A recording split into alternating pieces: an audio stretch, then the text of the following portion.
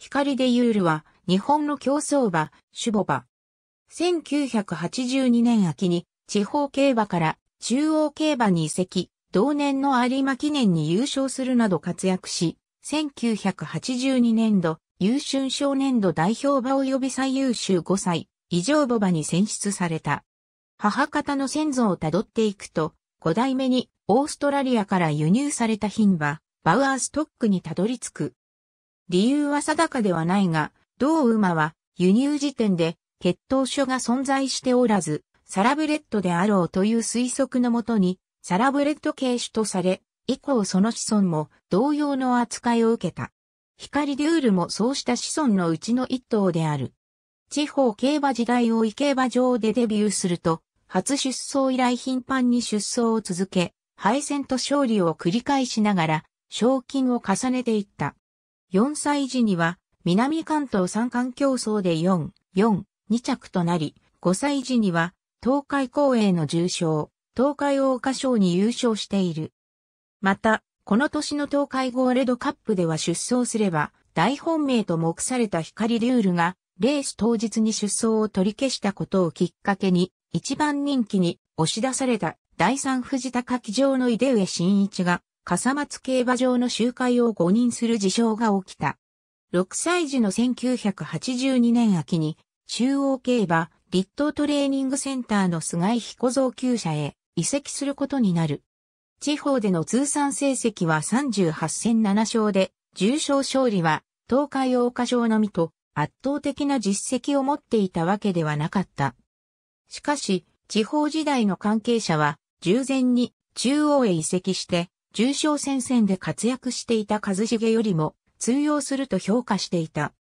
なお、本場の勝った1981年の東海桜花賞は中京芝2000メートルで行われたもので、そのレースで一茂を下している。中央競馬時代中央初戦は安城に河内陽を迎え、朝日チャレンジカップに出走した。およそ3ヶ月不利の競争、全2走は、地方競馬の競争で3着という成績から、評価は11頭立て7番人気というものだった。しかしレースになると、重馬場で行われた中で最高峰からの差し切り勝ちを収め、移籍初戦での重賞制覇を果たす。以降、川内が主戦騎手を務めた。次走は天皇賞に出走5番人気ながらメジロティターンのレコードタイム優勝から一馬身半差の2着と構想した。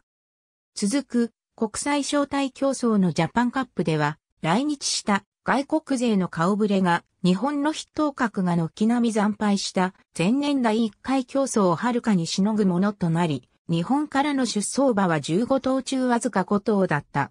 その中で優勝馬ハーフアイストから0.3秒差、日本馬最先着の5着となった。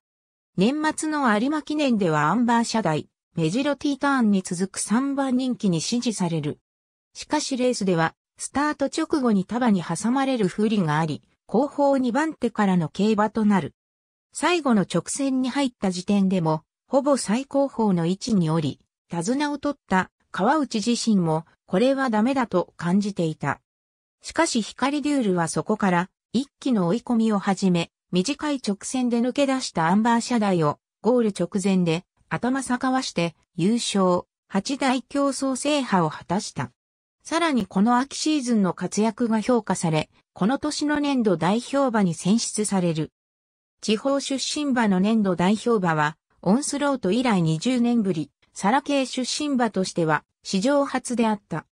翌年も現役を続行し、平場オープン戦を3着、大阪杯一着と調子を上げ、迎えた春の天皇賞でも3番人気に押される。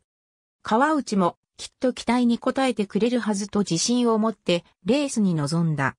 しかしながら、2周目の交渉面手前で故障を発生し、競争中止。前代一施設副骨折で競争能力喪失と診断され、競争馬引退となった。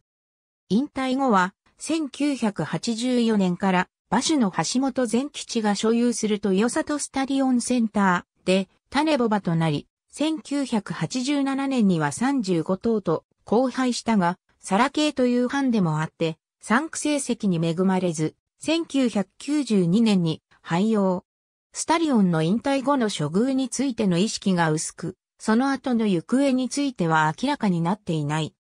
種ボバとしては、サラケが敬遠されたが、祖母、相手王は1963年の優春牝馬、優勝馬であり、三代母、北の光は、朝日杯3歳ステークス優勝馬、その兄弟には、朝日杯3歳、ステークス、菊花賞、天皇賞優勝馬、北の王、菊花賞優勝馬北の王座がいる。